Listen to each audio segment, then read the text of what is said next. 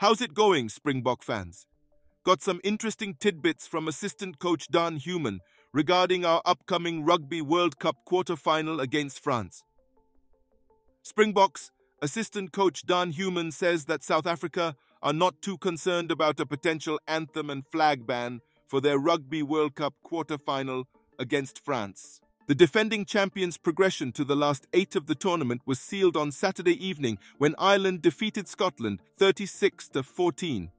They finished as runners-up in Pool B behind Ireland and now head into the quarter-final against hosts France but could front up against Les Bleus under a neutral flag and without signing the national anthem before the crunch game. This is because the South African government still need to update their anti-doping legislation to adhere to the World Anti-Doping Agency's policies. Human believes this won't affect the players, who will still proudly represent their country. I'm not too sure 100% what's happening there, the former test prop said.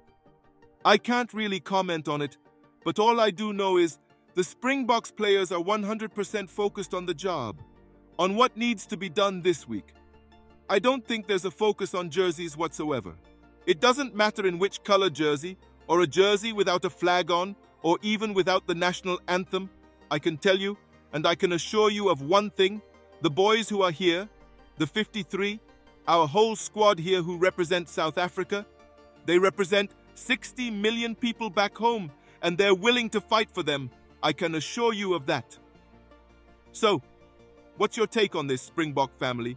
Do you think the ban will affect our team's performance, or will they continue to make us proud?